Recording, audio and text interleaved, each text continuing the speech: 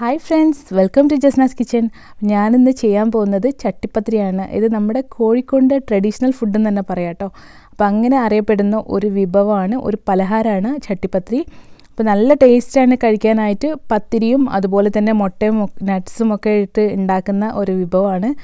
ഇത് പല രീതിയിലും ചെയ്യുന്നവരുണ്ട് കേട്ടോ. പക്ഷേ ഇതാണ് ട്രഡീഷണൽ രീതി എന്ന് പറയുന്നത്. പണ്ട് മുതലേ ഉണ്ടാക്കി വരുന്ന രീതി ഇതാണ്. അപ്പോൾ ഞാൻ എങ്ങനെ തന്നെ കാണിക്കുന്നുണ്ട്. അപ്പോൾ ഇത് മൈദയിലാണ് ഉണ്ടാക്കുന്നത്. അപ്പോൾ അതിനുവേണ്ടി ഞാൻ മൈദ എടുത്തിട്ടുണ്ട്. ഞാനിപ്പോൾ ഇവിടെ ഒരു മൂന്ന് കപ്പ് മൈദ എടുത്തിട്ടുണ്ട് കേട്ടോ. കാരണം ഞാൻ രണ്ട് ചട്ടിപ്പത്രി ഉണ്ടാക്കാൻ വേണ്ടിയിട്ടാണ് എടുത്തത്. അപ്പോൾ ഒരു എഴുന്നൂറ്റി അമ്പത് ഗ്രാമോളം മൈദ ഞാൻ എടുത്തിട്ടുണ്ട്. അപ്പോൾ നിങ്ങൾ ഒരു ചട്ടിപ്പത്രി ചെറുതാണ് ഒരു മീഡിയം സൈസാണ് ഉണ്ടാക്കുന്നതെന്നുണ്ടെങ്കിൽ ഒരു ഒന്നര കപ്പ് മൈദ എടുത്താൽ മതിയാവും. ഇതിലേക്ക് ആവശ്യത്തിനുള്ള ഉപ്പ് ചേർത്ത് ഞാനൊന്ന് മിക്സ് ചെയ്തെടുത്തിട്ടുണ്ട്. അപ്പോൾ ഉപ്പ് ഇങ്ങനെ ഇടാൻ അറിയാത്തവരാണെങ്കിൽ വെള്ളത്തിൽ ഉപ്പിട്ട് കൊടുക്കുക കേട്ടോ. നിങ്ങളിപ്പോൾ ഒന്നര കപ്പ് മൈദയാണ് എടുക്കുന്നതെന്നുണ്ടെങ്കിൽ അതിലേക്ക് ഒരു രണ്ട് ടേബിൾ സ്പൂൺ ഓയിൽ ഒഴിച്ചു കൊടുക്കുക. സാധാരണ ഓയിൽ ഒഴിച്ചാൽ മതി. എന്നിട്ട് ഇത് നല്ലപോലെ ഒന്ന് മിക്സ് ചെയ്തെടുക്കുക. ഉണ്ട് നമ്മളിങ്ങനെ പൊടി പിടിക്കുന്ന സമയത്ത് ഓയിലൊക്കെ മിക്സായിട്ട് ഈ ഒരു പരുവത്തിൽ വരും. അപ്പോൾ ഇത് നല്ലപോലെ ഒന്ന് മിക്സ് ചെയ്തെടുത്തിട്ടുണ്ട്. ഇനി നമുക്കിതിലേക്ക് നല്ല തിളച്ച വെള്ളം ഒഴിച്ചു കൊടുക്കുക. ഞാൻ എപ്പോഴും ചട്ടിപ്പത്രി ഉണ്ടാക്കുമ്പോൾ നല്ല തിളച്ച വെള്ളം ഒഴിച്ചിട്ടാണ് ഇത് കുഴച്ചെടുക്കുന്നത്. അപ്പോൾ നിങ്ങൾ ഉപ്പ് നേരത്തെ പൊടിയിലിട്ടല്ലോ ഞാൻ. അപ്പോൾ അതിന് പകരമായിട്ട് ഈ തിളച്ച വെള്ളത്തിലേക്ക് ഇട്ട് ഉപ്പ് ആവശ്യത്തിനുള്ള ഇട്ട് കൊടുത്തിട്ട് ഇതുപോലെ ഒഴിച്ചു കൊടുത്ത് ഒന്ന് മിക്സ് ചെയ്തെടുത്താൽ മതി. അപ്പോൾ തിളച്ച വെള്ളത്തിൽ തന്നെ കുഴയ്ക്കാൻ ശ്രമിക്കുക. അതാകുമ്പോൾ നമ്മുടെ പത്തിരി ഉണ്ടാക്കി കഴിയുമ്പോൾ നല്ല സോഫ്റ്റ് ആയിരിക്കും കേട്ടോ ഞാൻ ഉണ്ടാക്കി കഴിയുന്ന സമയത്ത് കാണിച്ചു തരാം. അപ്പോൾ ആവശ്യത്തിനുള്ള വെള്ളം ഒഴിച്ചിട്ട് ആദ്യം ഒരു സ്പൂണ് വെച്ചൊന്ന് മിക്സ് ചെയ്തെടുക്കുക. കാരണം അത് നല്ല ചൂടുണ്ടാവും. ഇനി അതിന് ശേഷം നമുക്കിതുപോലെ കൈകൊണ്ട് കുഴച്ചെടുക്കാം.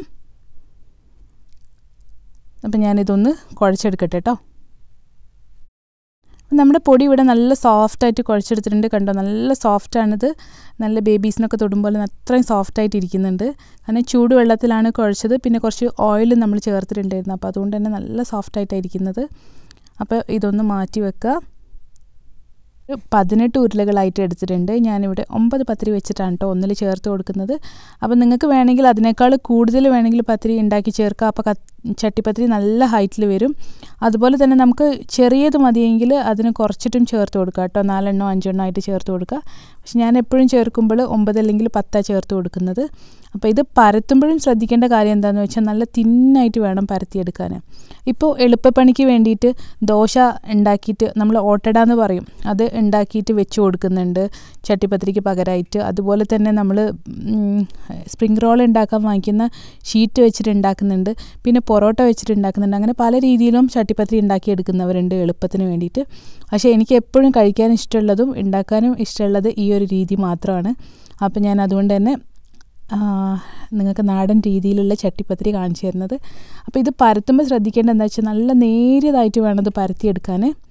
അപ്പോൾ നിങ്ങളിത് വീഡിയോ സ്കിപ്പ് ചെയ്യാതെ കാണുക കേട്ടോ. അപ്പോൾ കാണുമ്പോഴേ നിങ്ങൾക്ക് ഞാൻ ഓരോ സമയത്ത് ചേർക്കുന്നത് എന്താണെന്ന് മനസ്സിലാവുള്ളൂ. പത്തിരി നല്ല നേരിയതായതുകൊണ്ട് തന്നെ ഈ മാർബിളൊക്കെ ഇതിന്റെ മേലെ നന്നായിട്ട് കാണാൻ പറ്റുന്നുണ്ട്. അപ്പോൾ ഞാൻ ഇത് എടുക്കുന്നുണ്ട് കേട്ടോ. ഇനി ഇത് ചുട്ടെടുക്കാൻ പോവാണ്. അപ്പോൾ നമ്മൾ കല്ല് ചൂടാക്കിക്കൊണ്ടിരിക്കുക. ഈ പത്തിരി പരത്തുന്ന സമയത്ത് തന്നെ ഇത് ഉണ്ടാക്കിയ പാട് തന്നെ ചുട്ടെടുക്കണം. കണ്ടോ എത്രത്തോളം നേരിയതാണെന്ന്? അപ്പോൾ ഇനി ഞാനിത് ചുട്ടെടുക്കാൻ പോവാണ്. കല്ല് നേരത്തെ തന്നെ ചൂടാക്കി വെച്ചിട്ടുണ്ടായിരുന്നു. അപ്പോൾ ഇതിട്ടാൽ തീ കുറച്ച് വെക്കരുത്. തീ കുറച്ച് വെക്കുമ്പോൾ എന്താണെന്ന് വെച്ചാൽ ഈ പത്തിരി ഒരു വടി പോലെ ആയി വരും. അപ്പോൾ അതുകൊണ്ട് തന്നെ മീഡിയം ഫ്ലെയിമിലിട്ട് തന്നെ കുക്ക് ചെയ്തെടുക്കുക. ഒരു രണ്ട് മൂന്ന് മിനിറ്റ് കൊണ്ട് ഇത് നമുക്ക് ചുട്ടെടുക്കാൻ പറ്റും കേട്ടോ ഇപ്പോൾ ഞാൻ വീഡിയോ ഫാസ്റ്റ് ആക്കുന്നൊന്നുമില്ല. കാരണം എന്താണെന്ന് വെച്ചാൽ എത്ര സമയം അതിന് വേണ്ടി എടുക്കുന്നുണ്ടെന്നുള്ളത് കാണിക്കാനാണ്. ഈ മേലെ ഒരു ബബിൾസ് പോലെ വരുന്ന സമയത്ത് തന്നെ നമുക്കിതൊന്ന് മറിച്ചിടാം. എല്ലാം ഇങ്ങനെ ബബിൾസായി വന്നിട്ടുണ്ട്. ഇനി ഞാനിതൊന്ന് മറിച്ചിടുകയാണ് ഉണ്ടോ രണ്ട് ഭാഗത്തും ഈ ഒരു കളറിൽ വന്നാൽ മതി ലൈറ്റായിട്ട് ഒരുപാട് കരിഞ്ഞു പോകുന്നു ചെയ്യരുത്. നമ്മൾ ഇതിന്റെ ഉള്ളിലും കിടന്ന് കുക്കാവുന്നതാണ് ഈ പത്തിരിയൊക്കെ. അപ്പോൾ അതുകൊണ്ട് തന്നെ ഈ ഒരു പാകത്തിനാവുമ്പോൾ എടുത്ത് മാറ്റുക.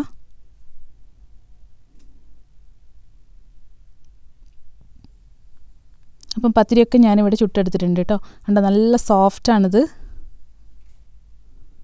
നമുക്കിങ്ങനെ ചുരുട്ടി പിടിക്കുമ്പോൾ തന്നെ അറിയാൻ പറ്റും. അത്രത്തോളം സോഫ്റ്റ് ആയതുകൊണ്ടാണ് ഇതിങ്ങനെ തന്നെ നമുക്ക് പിടിക്കാൻ പോലും പറ്റുന്നത്. അപ്പോൾ എല്ലാ പത്തിരിയും ഞാനിതുപോലെ ഒന്ന് ചുട്ടെടുത്തിട്ടുണ്ട്. ഇനി നമുക്ക് ചട്ടിപ്പത്തിരി ഉണ്ടാക്കാൻ തുടങ്ങാം. അപ്പോൾ അതിന്റെ മുൻപുള്ള ഒരു ടിപ്സാണ് നിങ്ങൾക്ക് ഈ ചട്ടിപ്പത്തിരിയിൽ അധികം മുട്ട ഒഴിക്കേണ്ടെന്നുണ്ടെങ്കിൽ ഈ പത്തിരി ഉണ്ടാക്കിയ സമയത്ത് ഒരു ചൂടുവെള്ളത്തിൽ പഞ്ചസാര ഇട്ട് നല്ല പോലെ ഒന്ന് പാനിയാക്കി കലക്കി വെക്കുക. അപ്പോൾ നിങ്ങൾ കുറേ നേരം ഈ പത്തിരി വെക്കുന്നുണ്ടെങ്കിലും അത് സോഫ്റ്റ് ആയിരിക്കാൻ വേണ്ടിയാണ് ആ ചൂടുവെള്ളം പഞ്ചസാരന്റെ സിറപ്പിൽ ഒന്ന് മുക്കിയെടുത്ത ശേഷം നമുക്കിതുപോലെ മുട്ടയിൽ മുക്കിയെടുക്കാം. അപ്പോൾ ഞാനിപ്പോൾ മുട്ട അതിനുള്ള ഫില്ലിംഗ് ഉണ്ടാക്കിയെടുക്കാൻ പോകാം കേട്ടോ അപ്പോൾ ഞാനിപ്പോൾ ഇവിടെ മുട്ട എടുത്തിട്ടുണ്ട്. അതിലേക്ക് ആവശ്യത്തിനുള്ള പഞ്ചസാര ചേർത്ത് കൊടുക്കുക. പിന്നെ പഞ്ചസാര ചേർക്കുമ്പോൾ കുറച്ച് കൂടുതലായിട്ട് തന്നെ ചേർക്കുക കേട്ടോ കാരണം നമ്മളിത് ഉണ്ടാക്കി കഴിയുമ്പോൾ എന്തായാലും മധുരം കുറഞ്ഞിട്ടാണ് എപ്പോഴും വരാറ്. അപ്പോൾ അതുകൊണ്ട് തന്നെ ആവശ്യത്തിനുള്ള പഞ്ചസാര എത്രയാണോ നിങ്ങൾക്ക് ആവശ്യമുള്ളത് അതിനേക്കാളും കുറച്ച് കൂടി നിൽക്കുന്ന രീതിയിൽ പഞ്ചസാര ഇട്ട് കൊടുക്കുക. അപ്പോൾ ഞാനിപ്പോൾ ഇത് നല്ലപോലെ കലക്കി എടുത്തിട്ടുണ്ട് ഇനി ഇതിലേക്ക് ഒരു അര ടീസ്പൂൺ ഏലക്കായ പൊടിച്ചതും കൂടെ ചേർത്ത് കൊടുക്കുന്നുണ്ട്. ഏലക്കായ തൊലിയോട് കൂടി തന്നെ നന്നായി പൊടിച്ചെടുത്തതാണ്. അപ്പോൾ അത് ഞാനിങ്ങനെ കുപ്പിയിലിട്ട് വെക്കാറാണ്. ഇങ്ങനെയുള്ള സാധനങ്ങളൊക്കെ ഉണ്ടാക്കുമ്പോൾ ഇട്ട് കൊടുക്കാനായിട്ട് അപ്പോൾ ഒരു അര ടീസ്പൂൺ ചേർത്ത് കൊടുത്തിട്ടുണ്ട്. നല്ലപോലെ ഒന്ന് മിക്സ് ചെയ്ത് എടുത്ത ശേഷം നമുക്കിതൊന്ന് ഫ്രൈ ചെയ്തെടുക്കണം. അപ്പോൾ ഒരു പാനിൽ ഞാൻ കുറച്ച് കാഷ്യൂനട്ടും അതുപോലെ കുറച്ച് കിസ്മിസും കൂടെ ഒന്ന് ഫ്രൈ ചെയ്തെടുക്കുകയാണ് ആദ്യം തന്നെ. അപ്പോൾ ഇത് ഫ്രൈ ചെയ്തെടുത്താൽ മാറ്റി വെക്കാം. നമുക്ക് അതിന് ശേഷം എഗ്ഗ് ചില്ലിയാക്കിയ ശേഷം അതിലേക്ക് ഇട്ട് കൊടുക്കുക പിന്നെ കുറച്ച് മേൽഭാഗത്ത് ഇടാനും വേണ്ടി നമുക്ക് ആവശ്യമുണ്ട്. അപ്പോൾ അതുകൊണ്ട് തന്നെ ഒന്ന് ഫ്രൈ ആക്കിയെടുത്ത് മാറ്റി വെക്കുന്നുണ്ട് കേട്ടോ. ഇനി ബാക്കി വന്ന എണ്ണയിലേക്ക് തന്നെ നമുക്ക് ഈ നേരത്തെ കലക്കി വെച്ച മുട്ട ഒഴിച്ചു കൊടുക്കാം. അപ്പോൾ ഈ കലക്കി വെച്ച മുട്ട ഞാൻ ഈ പാനിലേക്ക് ഒഴിച്ചു കൊടുത്തിട്ടുണ്ട്. ഇനി ഇതിലേക്ക് നമുക്ക് കുറച്ച് വെള്ളം കൂടെ ഒഴിച്ചു കൊടുക്കുക. വെള്ളം ഒഴിച്ചു കൊടുക്കുമ്പോൾ എന്താണെന്ന് വെച്ചാൽ നമ്മൾ ഈ മുട്ട എപ്പോഴും ഉണ്ടാക്കുന്ന സമയത്ത് കുറച്ച് വെള്ളം ഒഴിച്ചു കൊടുത്താൽ ചിക്കി എടുക്കുന്ന സമയത്ത് നല്ല സോഫ്റ്റ് ആയിരിക്കും. ഭയങ്കര ഹാർഡായിരിക്കില്ല നമ്മൾ വെള്ളം ചേർക്കാതെയാണ് ഉണ്ടാക്കുന്നതെന്നുണ്ടെങ്കിൽ എപ്പോഴും നല്ല ഹാർഡായിട്ടാണ് ഈ മുട്ട ഇരിക്കാറ്. അപ്പോൾ അതുകൊണ്ട് തന്നെ ഒരു ടേബിൾ സ്പൂണോളം വെള്ളം ചേർത്ത് കൊടുത്താൽ മതി കേട്ടോ ഞാൻ ഇതിലേക്ക് കുറച്ച് ബട്ടറും കൂടെ ചേർത്ത് കൊടുത്തിട്ടുണ്ട്. ഇനി ഇത് നല്ല പോലെ ഒന്ന് ചില്ലിയാക്കി എടുക്കാം. ഇപ്പോൾ ഈ മുട്ടയൊക്കെ ഇപ്പോൾ ഡ്രൈ ആയി വരുന്നുണ്ട്. ഇനി ഇതിലേക്ക് നേരത്തെ ഫ്രൈ ചെയ്ത് വെച്ചതിൽ നിന്ന് കുറച്ച് കശുവണ്ടിയും കിസ്മിസും കൂടെ ഞാനിതിലേക്ക് ചേർത്ത് കൊടുക്കുന്നുണ്ട്. നമുക്കിതിലേക്ക് ഒരു ടേബിൾ സ്പൂൺ കസ്കസും കൂടെ ചേർത്ത് കൊടുക്കുക ഞാനിപ്പോൾ വെള്ള കസ്കസാണ് ചേർത്ത് കൊടുക്കുന്നത്. അപ്പോൾ ഇത് നമുക്ക് ഇവിടെ വാങ്ങിക്കാൻ കിട്ടില്ല കേട്ടോ. ഗൾഫിലൊന്നും വാങ്ങിക്കാൻ കിട്ടാറില്ല എന്നാണ് എന്റെ ഒരു അറിവിൽ. ഇവിടെ ഒന്നും കിട്ടാറില്ല കുവൈറ്റിൽ. പിന്നെ ഇത് ഞാൻ നാട്ടിൽ നിന്ന് കൊണ്ടുവരുന്നതാണ്. നമുക്ക് ഒരു ടേബിൾ സ്പൂൺ അളവിൽ ഇതും കൂടെ ചേർത്ത് നല്ലപോലെ മിക്സ് ചെയ്തെടുക്കുക. ഇത് നമുക്ക് ചട്ടിപ്പത്തിരിന്റെ ഇടയ്ക്ക് വരുന്ന ഒരു ഫില്ലിംഗ് ആണ് കേട്ടോ.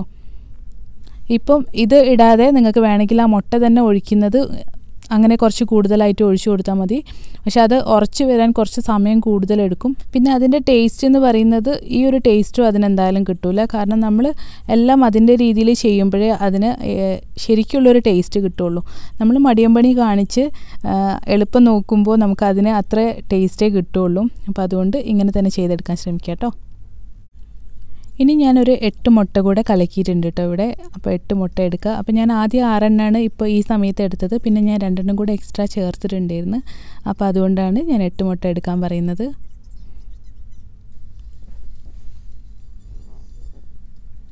ഇതിലേക്ക് ഒരു നാല് ടേബിൾ സ്പൂൺ പഞ്ചസാര ഞാൻ ചേർത്ത് കൊടുത്തിട്ടുണ്ട്.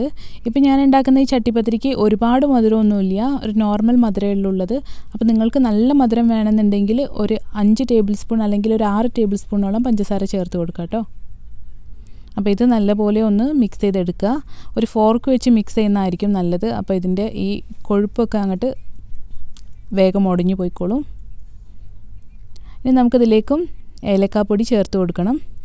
ഒരു അര ടീസ്പൂൺ ഏലക്കാപ്പൊടി ഇതിലും ഞാൻ ചേർത്ത് കൊടുക്കുന്നുണ്ട്. അപ്പോൾ ഇത് മുട്ടയുടെ സ്മെല്ലും ഒന്നും ഉണ്ടാവില്ല. ചില ആളുകൾ ഉണ്ടാക്കുമ്പോൾ ഞാൻ ശ്രദ്ധിച്ചിട്ടുണ്ട് എപ്പോഴും. ഭയങ്കര മുട്ടയുടെ സ്മെല്ല് വരും. അപ്പം നമുക്ക് കഴിക്കാൻ തന്നെ മടിയായിരിക്കും. അപ്പോൾ അത് ആവശ്യത്തിനുള്ള ഏലക്കാപ്പൊടി ചേർത്ത് കൊടുക്കാത്തതുകൊണ്ടാണ്. അപ്പോൾ ഒരു അര ടീ ടീസ്പൂൺ തന്നെ ഏലക്കാപ്പൊടി ചേർത്ത് കൊടുക്കാം കേട്ടോ. അപ്പോൾ ഇനി ഇത് നല്ല പോലെ ഒന്ന് മിക്സ് ചെയ്തെടുക്കാം. എന്റെ മുട്ടക്കൂട്ട് ഇവിടെ റെഡി ആയിട്ടുണ്ട്. ഇപ്പോൾ ഇതെനിക്ക് ഫുള്ള് കാണിക്കാൻ പറ്റാത്ത എന്താണെന്ന് വെച്ചാൽ ഞാനിപ്പോൾ ഒരു ഓർഡർ ഉണ്ട്. അതിന്റെ സമയത്താണ് ഞാനിത് ചെയ്യുന്നത്. അപ്പോൾ ഒന്ന് ഓർഡറിന് കൊടുക്കാനും ഒന്ന് നമുക്കായിട്ടുമാണ് ഞാൻ ഉണ്ടാക്കിയെടുക്കുന്നത്. അപ്പോൾ അതുകൊണ്ട് തന്നെ എനിക്ക് നല്ല നല്ല രീതിയിൽ കാണിക്കാൻ പറ്റുന്നില്ല. കാരണം കിച്ചണൊക്കെ ഫുള്ള് പണിയായി കിടക്കുകയാണ്. അപ്പോൾ ഈ പത്തിരി ഓരോന്നായിട്ട് എടുക്കുക. എന്നിട്ട് നല്ല പോലെ ഈ മുട്ടയിലൊന്ന് മുക്കിയെടുക്കുക. ഇനിയിപ്പോൾ ഞാനിതിൽ ഉണ്ടാക്കാൻ പോകുന്ന പാത്രത്തിൽ ഒരു ബട്ടർ പേപ്പർ വിരിച്ചു കൊടുത്തിട്ടുണ്ട് കേട്ടോ പെട്ടെന്ന് ഇളകി കിട്ടാൻ വേണ്ടിയാണ്. അപ്പോൾ ഇതിലേക്ക് ഒരു പത്തിരി വെച്ച് കൊടുക്കുക. ആദ്യം ഒന്ന് ബട്ടർ തേച്ച് കൊടുത്തിട്ടുണ്ട് ബട്ടർ പേപ്പറിന്റെ മേലെ. അതിലേക്ക് ഒരു പത്തിരി വെച്ച് കൊടുക്കുക. ഈ പത്തിരി കുറച്ച് വലുതായിരിക്കും. എന്നാലും കുഴപ്പമൊന്നുമില്ല. കാരണം അത് സൈഡൊക്കെ ഇങ്ങനെ മടങ്ങി വരുമ്പോൾ അത് നന്നായി നെരിഞ്ഞ് വന്നോളും ലാസ്റ്റിലേക്ക് അപ്പോൾ ഈ പത്തിരി നല്ല രീതിയിൽ തന്നെ ഫസ്റ്റ് വെക്കുന്നത് നല്ല വൃത്തിയിലൊന്ന് വെച്ച് കൊടുക്കുക കേട്ടോ സൈഡൊക്കെ ഒരേപോലെ ആക്കി വെച്ച് കൊടുക്കുക. ഇനി ഇതിന്റെ മേലേക്ക് ഞാൻ ഒരു പത്രിയും കൂടെ വെച്ചിട്ടുണ്ടായിരുന്നു. രണ്ടാമത്തെ പത്രിയുടെ മേലെയാണ് ഞാൻ ഈ മുട്ടയുടെ ഫില്ലിങ് വെച്ച് കൊടുക്കുന്നത്. അപ്പോൾ എല്ലാ ഭാഗത്തും ആവുന്ന പോലെ കുറച്ചിങ്ങനെ സ്പ്രെഡ് ചെയ്ത് കൊടുക്കുക കേട്ടോ.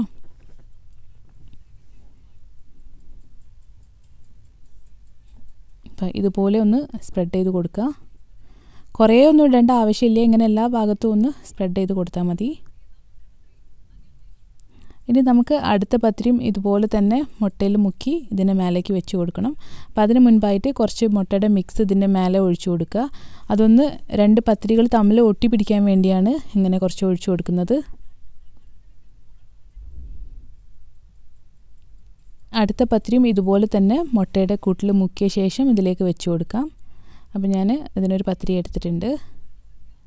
നല്ല പോലെ മുക്കിയെടുക്കുക കേട്ടോ. അപ്പോൾ ഞാൻ നേരത്തെ പറഞ്ഞല്ലോ നിങ്ങൾ ഉണ്ടാക്കുന്ന പത്രി അത്ര സോഫ്റ്റ് അല്ല. പിന്നെ അത് മാത്രമല്ല നിങ്ങൾക്ക് കുറേ സമയം ഇരിക്കണം എന്നുണ്ടെങ്കിൽ ആദ്യം ഒരു നല്ല ചൂടുള്ള വെള്ളത്തിൽ പഞ്ചസാര കലക്കിയെടുക്കുക. ആ വെള്ളം തിളപ്പിക്കേണ്ട ആവശ്യമൊന്നുമില്ല. ചൂടുള്ള വെള്ളത്തിൽ പഞ്ചസാര ഇട്ട് കലക്കിയെടുത്താൽ മതിയാവും.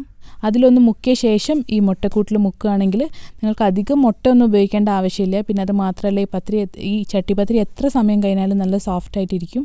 അപ്പോൾ ഞാൻ രണ്ടാമത്തെ പത്രി ഇതുപോലെ വെച്ച് കൊടുത്തിട്ടുണ്ട്. ഇതിന്റെ മേലേക്കും നേരത്തെ ചെയ്ത പോലെ തന്നെ കുറച്ച് മുട്ടയുടെ കൂട്ട് ഒഴിച്ചു കൊടുക്കുക. പിന്നെ നമ്മൾ നേരത്തെ എഗ് ചില്ലി ഉണ്ടാക്കി വെച്ചിട്ടുണ്ടായിരുന്നു. അതും കൂടെ ഇട്ട് കൊടുക്കുക. കുറച്ച് നെയ്യും ഇടയ്ക്ക് ഒഴിച്ചു കൊടുക്കുക കേട്ടോ. സൈഡിലെ ഭാഗത്തേക്കൊക്കെ കുറച്ച് നെയ്യും കൂടെ ഒഴിച്ചു കൊടുക്കുക. അപ്പോൾ ഇങ്ങനെ ലെയറായിട്ട് നമുക്ക് എല്ലാ ഫില്ലിങ്ങും ചെയ്തെടുക്കാം. ഇപ്പോൾ നിങ്ങൾ എത്ര പത്തിരി നിങ്ങൾക്ക് വെക്കണോ പത്താണോ പതിനഞ്ചാണോ എത്ര ആണെങ്കിലും അതൊക്കെ വെച്ച് കൊടുക്കുക. ലാസ്റ്റ് ഒരു പത്തിരി വെച്ച ശേഷം അതിന് മേലേക്ക് കുറച്ച് നേരത്തെ ഫ്രൈ ചെയ്ത് വെച്ച നട്ട്സ് ഇട്ട് കൊടുക്കുന്നുണ്ട്.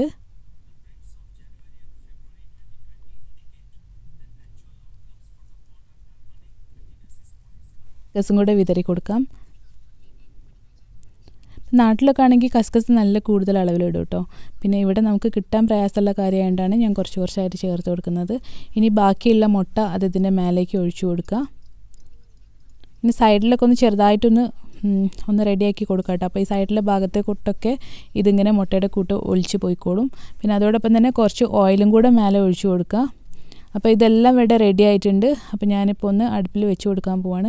ബാക്കി വന്ന് കുറച്ച് മുട്ട ഉണ്ടായിരുന്നു. അപ്പോൾ അതും കൂടെ ഞാൻ ഇതിന്റെ മേലേക്ക് ഇങ്ങനെ സ്പ്രെഡ് ചെയ്ത് കൊടുക്കുന്നുണ്ട്. അപ്പോൾ നമ്മുടെ ചട്ടിപ്പത്തിരി ഇപ്പോൾ കുക്ക് ചെയ്ത് വന്നിട്ടുണ്ട് കേട്ടോ. അപ്പം കുറച്ച് സമയം ഒന്ന് വേവിച്ച ശേഷം നമുക്കിതുപോലെ അടിയിലൊരു തട്ട് വെച്ചിട്ട് അതിന്റെ മേലെ വെച്ച് കൊടുക്കുക നിങ്ങൾക്ക് വേണ്ടാത്തൊരു പാനോ എന്തെങ്കിലും ഒന്ന് വെച്ച് കൊടുത്താൽ മതി. അപ്പോൾ നമ്മൾ ചട്ടിപ്പത്തിരി ഇവിടെ റെഡി ആയിട്ടുണ്ട്. ഇപ്പോൾ ഇതൊരു അര മണിക്കൂറോലെ നല്ല പോലെ കുക്ക് ചെയ്തെടുത്തിട്ടുണ്ട്. അപ്പോൾ ചട്ടിപ്പത്തിരി റെഡി ആയി കഴിഞ്ഞാൽ ഇതുപോലെ ഇങ്ങനെ പൊങ്ങി വന്നിട്ടുണ്ടാവും കേട്ടോ അപ്പോൾ അതിന്റെ മേലത്തെ എഗ്ഗൊക്കെ ഒന്ന് ഡ്രൈ ആയിട്ട് നല്ല പോലെ പൊങ്ങി വന്നിട്ടുണ്ട്. ഇത് കാണാൻ പറ്റുന്നുണ്ടല്ലോ. അപ്പോൾ സൈഡൊക്കെ നല്ല ക്രിസ്പി ആയി വന്നിട്ടുണ്ട് കേട്ടോ അപ്പോൾ ഒരു സ്പൂണ് കൊണ്ടിട്ടും ഇങ്ങനെ ഒന്ന് വിടർത്തി കൊടുക്കുക ആദ്യം. അതിന് ശേഷം ഇതൊന്ന് മറിച്ചെടുക്കണം. അപ്പോൾ ചെറുതായിട്ട് ഒരു സ്പൂണിന്റെ ബാക്ക് സൈഡ് വെച്ചിട്ട് ഒന്ന് ഇതുപോലെ മാറ്റിയെടുത്തിട്ട് ഒന്ന് മറിച്ചിട്ടിട്ടുണ്ട്. അപ്പോൾ അടിഭാഗം നല്ല പെർഫെക്റ്റ് ആയിട്ട് വന്നിട്ടുണ്ട് കേട്ടോ. ഞാൻ കുറച്ച് ബട്ടർ ഇട്ട് കൊടുത്തിട്ടുണ്ടായിരുന്നു താഴത്തെ ഭാഗത്ത്. ഇനി ആ ഭാഗം കൂടെ ഒന്ന് കളർ മാറ്റിയെടുക്കുക. അപ്പോൾ ഇതുപോലെ ഒന്ന് അമർത്തി കൊടുക്കുകയാണെങ്കിൽ ആ ഭാഗം പെട്ടെന്ന് തന്നെ ഒന്ന് കളറായി വന്നോളും.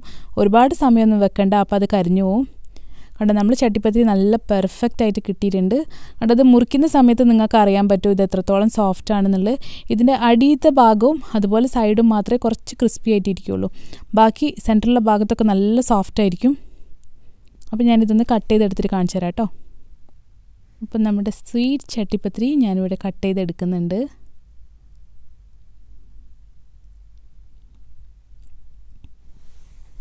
കണ്ടോ ഇതിന്റെ ഉൾവശം കണ്ടാൽ നിങ്ങൾക്ക് അറിയാൻ പറ്റും. നല്ല തിക്കായിട്ടായിരിക്കുന്നത് അത് മാത്രമല്ല മുട്ടയും.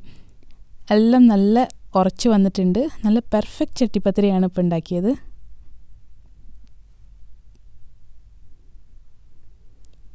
ആ നട്ട്സും അതിന്റെ മുട്ടയും അതിന്റെ ചില്ലിയായിട്ട് നമ്മൾ കൊടുത്ത ഫില്ലിങ്ങും എല്ലാം കാണാൻ പറ്റുന്നുണ്ട്. അപ്പോൾ നിങ്ങൾ ഇതുവരെ കഴിച്ചിട്ടില്ല എന്നുണ്ടെങ്കിൽ തീർച്ചയായിട്ടും ഒന്ന് ഉണ്ടാക്കി നോക്കുക കേട്ടോ. അതുപോലെ നിങ്ങൾ ഈ രീതിയിൽ ഉണ്ടാക്കിയിട്ടില്ലെങ്കിലും തീർച്ചയായിട്ടും ഉണ്ടാക്കി നോക്കുക. ഇത് പലർക്കും അറിയുന്ന റെസിപ്പി തന്നെ ആയിരിക്കും. പക്ഷേ നാടൻ രീതിയിലായിട്ട് ഞാനൊന്ന് കാണിച്ചു തന്നേ ഉള്ളൂ. അപ്പോൾ എല്ലാവർക്കും വീഡിയോ ഇഷ്ടമായെന്ന് വിചാരിക്കുന്നു. ഇഷ്ടമായിട്ടുണ്ടെങ്കിലും ഇല്ലെങ്കിലും നിങ്ങളുടെ അഭിപ്രായങ്ങൾ കമന്റായിട്ട് കൊടുക്കുക. പിന്നെ എന്റെ ചാനൽ ഇതുവരെ സബ്സ്ക്രൈബ് ചെയ്യാതെ കാണുന്നുണ്ടെങ്കിൽ താഴെ കാണുന്ന റെഡ് ബട്ടൺ ഒന്ന് ക്ലിക്ക് ചെയ്ത് സബ്സ്ക്രൈബ് ചെയ്യണം കേട്ടോ. അതോടൊപ്പമുള്ള ബെല്ലൈക്കൺ കൂടെ പ്രസ് ചെയ്ത് അതിൽ ഓളും കൂടെ പ്രസ് ചെയ്താൽ നിങ്ങൾക്ക് ഞാൻ ഇടുന്ന വീഡിയോസിന്റെ എല്ലാം നോട്ടിഫിക്കേഷനും പെട്ടെന്ന് തന്നെ കിട്ടുന്നതാണ്. അപ്പോൾ പുതിയൊരു വീഡിയോ ആയിട്ട് ഞാൻ വീണ്ടും വരുന്നതാണ്. അതുവരേക്കും bye bye thank for watching Jasna's kitchen